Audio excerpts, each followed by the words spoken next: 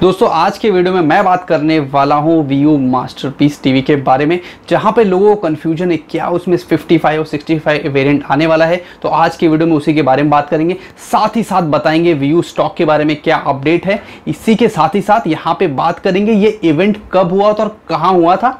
और एक खास मैसेज देने वाला हूँ, जो लोग इस समय टेलीविज़न लेने का प्लान कर रहे हो दिस फेस्टिव सीज़न तो सब कुछ बताऊँगा इस वीडियो में। तो वीडियो को शुरू करते हैं, लेकिन उसके पहले अगर हमारे चैनल पे आप पहली बार विज़िट क्यों तो सब्सक्राइब का बटन दबा दीजिए, घंटी बजाइए टनना शुरुआत करते हैं वीडियो की। नमस्कार दोस्तों, मेरा नाम है राकेश, आप देख रहे हैं happy guides let get started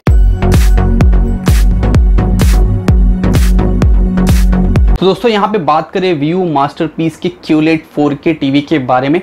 तो यहाँ पे वेरिएंट्स की अगर बात करें तो यहाँ पे सिर्फ़ और सिर्फ़ एक ही वेरिएंट ऑफिशियली अनाउंस किया गया है, जो है 85 इंच का।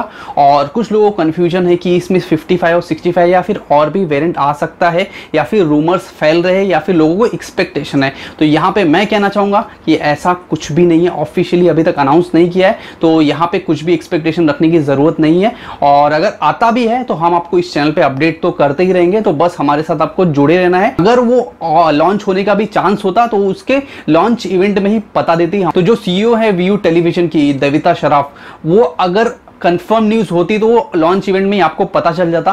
तो यहाँ पे रूमर्स और बाकी चीज़ों पे ध्यान मत दीजिए और ज़्यादा एक्सपेक्टेशन भी मत रखिए। और अब यहाँ पे आगे बढ़ते हैं और बात करें इसके लॉन्च इवेंट और लोकेशन के बारे में। तो ये इवेंट हुआ था 26 अक्टूबर को अलीबाग में, और ये देविता शराफ का जो बंगलो है वहीं पर ही हुआ था। और मीडिया की टीम से भी काफ़ी लोग को बुलाया गया था, और यूट्यूब टीम से भी काफ़ी लोग को बुलाया गया था, जिनके साथ उनका कोलैबोरेशन हुआ है। मैं यूट्यूबर हूँ, लेकिन फ़िलहाल मेरा व्यू टीम के साथ ऐसा कुछ ऑफिशियल कोलैबोरेशन नहीं हुआ है। अगर होता है फ्यूचर में तो शायद मैं भी आपको इस इवेंट में देखने ज़रूर मिलूँगा। और अब यहाँ पे आगे बढ़ते हैं और बात करते हैं व्यू टीवी के स्टॉक के बारे में।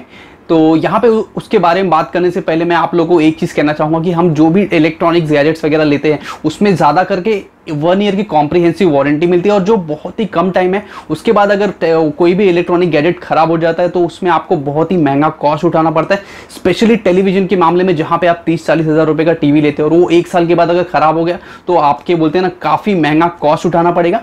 और इसी चीज़ का ध्यान में रखते हुए हमने कोलैबोरेट किया है गो वारंटी के साथ, जो आपको एक्सटेंडेड ब्रांड वारंटी देती है। यहाँ पे जो गो वारंटी के एक्सटेंडेड प्लान है, बहुत ही बजट फ्रेंडली है। एक इंडियन कस्टमर का बहुत ही अच्छी तरह से ध्यान रखा गया है। यहाँ पे सिर्फ़ टेलीविज़न ही नहीं, यहाँ पे जो भी इलेक्ट्रॉनिक गैजेट्स हो गए, जैसे air condition washing machine sound bar जो भी इलेक्ट्रॉनिक्स के प्रोडक्ट है, हर चीज़ की एक्सटेंडेड वारंटी आपको मिल जाएगी गो वारंटी के वेबसाइट पे। जहाँ तक सवाल है गो वारंटी के सर्विस के बारे में तो यहाँ पे आपको कोई कोई भी पेपर वर्क की ज़रूरत नहीं है।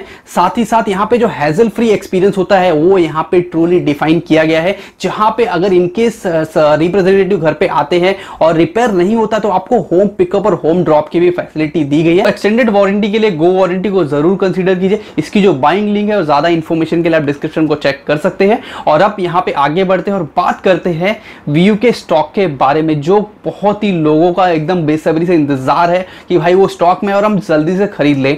तो यहाँ पे भाई एक मेजर अपडेट निकल के आई है। दिन पहले व्यू की जो ऑफिशियल वेबसाइट है, वहाँ पे लिख के आ रहा था अराइविंग इन नवंबर मतलब यहाँ पे समझ में आ जाता था कि हमें, कि भाई, और नवंबर में स्टॉक आने वाला है और काफ़ी लोग इंतज़ार में भी लग गए थे और काफ़ी कमेंट्स और मैसेजेस भी आने लगे थे। तो यहाँ पे आज मैंने चेक किया 29 अक्टूबर को, और यहाँ पे वो हट गया है। तो मतलब मुझे भी समझ में नहीं आ रहा कि अभी वो स्टॉक आएगा या फिर नहीं आएगा क्योंकि कुछ ऑफिशियल अनाउंसमेंट नहीं है। रूमर्स तो बहुत सारे फैल रहे कुछ भी को, कोई कुछ भी अपने मन से बोल रहा है। लेकिन मैं बिलीव करता हूँ ऑफिशियल अनाउंसमेंट में जो व्यू की टीम से हमें मिलेगा या फिर ऑफिशियली वेबसाइट पर अनाउंस किया जाएगा सभी के लिए। तो यहाँ पे व्यू का स्टॉक के बारे में अगर आप मुझसे पूछोगे तो मैं आपको एक, एक मेरा फाइनल वर्ड दूँगा कि आप वेट करना ही बंद कर दीजिए। क्योंकि यहाँ पे ज़रूरी नहीं कि व्यू ही एक ऑप्शन है आपके पास। यहाँ पे अगर ऑल्टरनेट ऑप्शन की बात करें तो यहाँ पे हाइसेंस का टीवी स्टॉक में था, वो भी आप ले सकते हो। पूरी की पूरी टीवी सेम ही है। माइनर कुछ चेंजेस है जो आई थिंक इजीली एक्सेप्टेबल है। और हाइसेंस आई थिंक बेटर है व्यू से, मुझे ऐसा लगता है। ये मेरा पर्सनल रिकमेंडेशन होगा।